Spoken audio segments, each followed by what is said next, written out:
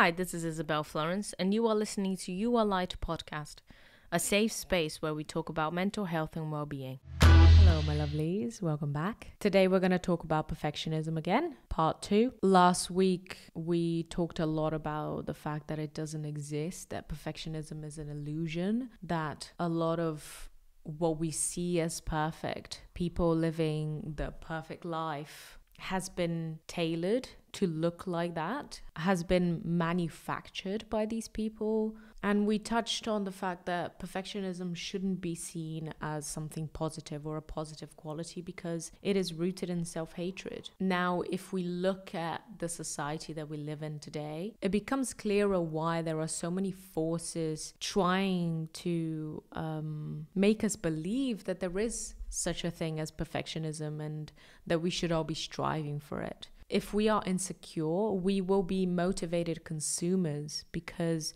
we will want to acquire the things that might complete us. If we feel complete within, then the beauty industry doesn't have to exist. Fast fashion would probably not exist. Consumerism would die down a lot. We would share the things that we need and we would get the stuff that is necessary for our lives. Or maybe that it enhances our existence in this planet a little bit, but the seeking of a seemingly perfect looking life would stop. It makes me frustrated when I see that there is a lot of um, manipulation in the wellness industry nowadays. When I became a health coach, I went through quite a few courses because I wanted to feel secure in myself that I could help people and I wanted to learn how to do it in the best way possible. And in a lot of occasions, I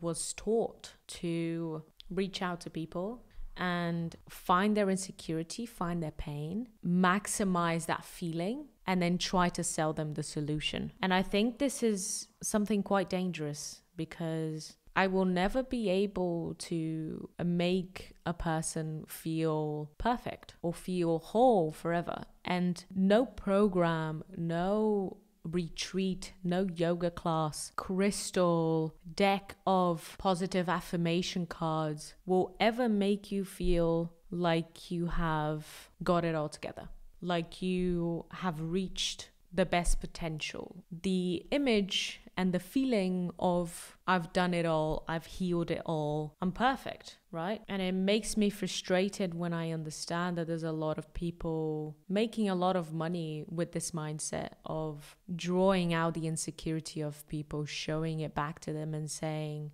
I can fix this. Nobody can fix anything for you. You can fix things for yourself, but you're always going to have something to work on. And if you didn't, then life would be so insignificant because that's the point of us being here is that we learn about ourselves, we learn about the people around us, we learn how to better ourselves every day. We change every day, and that is really beautiful. And we need to remember that. We need to remember because our society is constantly telling us that there is answers around us for our pain, for our suffering, for our traumas. The answers are not outside of us, the answers are within. We need to remember that. And nobody feels great all of the time. There's no such thing. I think there is beauty in the changeable experience that is life in the movement of emotions in your life. There is beauty in feeling sadness because it means that you are a human being, you are alive, and you care. You have a lot of care within you. That is beautiful. So, I wanted to remind you that if people are trying to sell you a lot of things to make you complete, search for that completeness within. And this is how I enjoy working with a client, making them understand that everything that they need is within. I always want to get to a point where they don't need me. I always want to change their mindset to arrive in the conclusion that they deserve kindness for themselves. So, when it comes to well being and when it comes to beauty, let's focus on finding the answers within. Let's focus on not looking for a perfect linear healing curve. Let's focus on looking at your body in what it is capable of rather than what it looks like. Reminding yourself that if you have stretch marks, it's because your body is changeable, it is malleable, it has grown, right? If you look at your legs, from a perspective of this carries me everywhere, this allows me to run and have freedom. It can change the mindset of looking for a perfect image, looking for a perfect feeling, looking for a perfect life. So, how can you strive in your life to search within, to better yourself without looking for that perfect image, looking for that perfect life?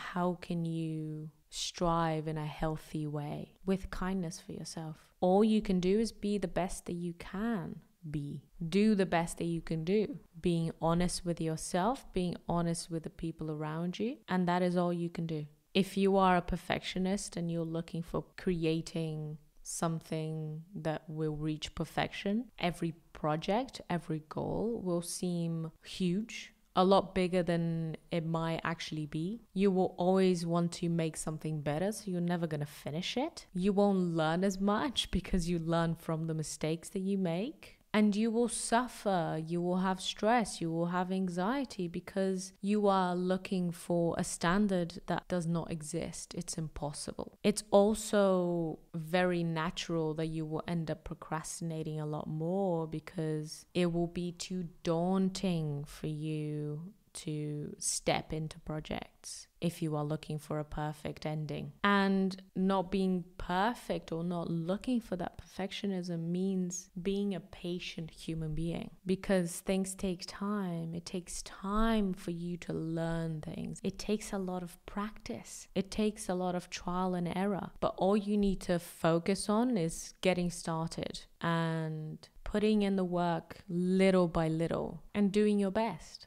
You also shouldn't compare yourself as a beginner to someone who is a master at something. Now that we have the reach that we do with the internet, we are able to see people's work all over the world. It's very natural to compare yourself in your beginning stages of something to someone who has been doing something for 10, 20, 30 years. Because out of everything that you're going to see, you're going to look for the best. You're going to compare yourself with the best. And that's unfair because they didn't just arrive there by trying it once. It took them a very long time to get as good as they are. So give yourself that credit of allowing things to take time. When you have a goal, don't focus on the goal that you have of five years if you're a perfectionist, because that can be too daunting. Focus on the steps that you can take today, the steps that you can take tomorrow. Done is better than perfect aim for putting effort into things rather than aiming for creating something that is perfect. And if you need to set deadlines for something, that can help as well because sometimes we get in this tendency of making it better, making it better, making it better, and it never gets to the end. It never gets published, it never gets shared. I know I have this tendency, and sometimes I just have to get it done and release it, you know, let it go. things will never be finished, really, because you as a human being are never finished. You will never reach a point of, oh, okay, now I am complete.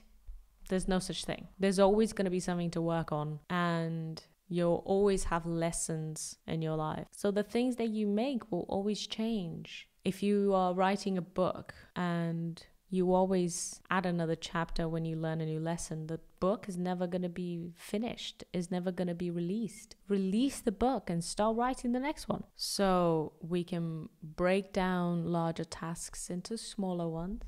We can focus on progress rather than expecting flawless results. We can challenge our thinking and challenge your belief when it comes to perfection. What does it look like to you? Where did that come from? Where did you learn that that looked like perfection? And how can you make it clearer to yourself that that doesn't exist? Is this belief realistic? we can be more compassionate with ourselves, more kind to ourselves. You do not have to achieve everything. You do not have to become the best version of yourself every day. You deserve to work hard as well as to rest. You deserve to be treated with kindness think of the things that you struggle when it comes to perfectionism and imagine your friend coming to you and saying, Look, I'm struggling with this and this and that. What would you say to them? And let's try to embrace mistakes and failure a little bit more. I know this is really difficult. I struggle with it myself. But if you change your perception and look at it as opportunity for growth,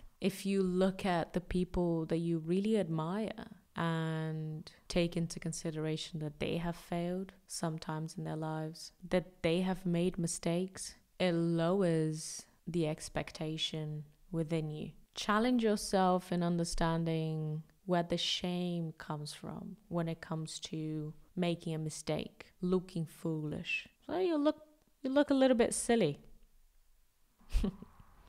yeah, it didn't work out, but you know, I've tried. That's better than not doing it at all. Adjust your standards when you need to. They might be too high at some points. You might be comparing yourself to a master when you're a beginner. Sometimes good enough is enough. Is good enough. and do not get into a cycle of overthinking everything because that can be dangerous when you are a perfectionist. If you take too long to make decisions, your mind might get in the way trying to protect you from making a mistake. It'll say, Well, I don't know. Maybe we should do it like this. Maybe I should do it like that. Maybe I should take more time with this. Don't allow so much time for a project that your mind will get in the way. Redirect your focus into just taking action and remember to celebrate every progress that you take. Celebrate your wins. It doesn't matter how small it is. Recognize that that progress is better than perfection, that you did it and that you're going to continue doing it. And don't be too hard on yourself. You know, sometimes it helps, and I've spoken about this before, but sometimes it helps to bring a little bit of humor into the situation, to take the piss out of yourself a little bit and be like, oh, how silly am I that I am searching for something that doesn't exist? that I have such a high expectation for myself when I've started doing this a week ago, a month ago, two months ago. Step back and look at the full picture. Are you being realistic? And just be kind to yourself. Just be lovely to yourself. Because if you are over worrying about something, it means that you care. There's a reason why you're overthinking. You're not taking the step because you care about it. And that's valid. And I want you, when you are struggling with perfectionism, to share that struggle, to talk to your friends, to your loved ones, to your therapist. They might show you how silly it is that you are putting such a high pressure on yourself. You might have a healthier perspective after talking to someone about it. This week, every time you have a thought that is self critical and that is setting too high of an expectation for yourself, I want you to understand that this thought might be a bit silly that maybe you should push it to the side and not listen to it. All right? I hope you guys have a lovely week and I'll see you next time. Bye bye. Thank you so much for listening. All the links are written down on the show notes, as well as resources for anyone struggling with their mental health. Don't forget to subscribe so you're notified when we release new episodes. Also, feel free to share our podcast with your friends and family. And if you'd like to get involved, explore our content, or support our work, visit our website www.yourlight.earth. That's Y O U R light.earth. Also, don't forget to follow us on Instagram at u.r.light. Have a wonderful week, and I'll see you next time.